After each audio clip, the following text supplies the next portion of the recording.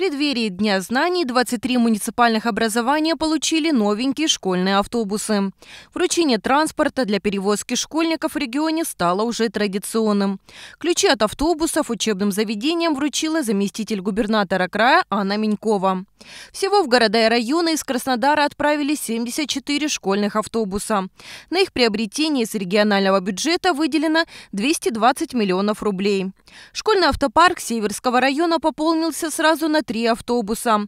Два в 36-й школе станицы Новодмитриевской и один во Львовской школе номер 27. Все машины оснащены ремнями безопасности, подключены к системе ГЛОНАСС.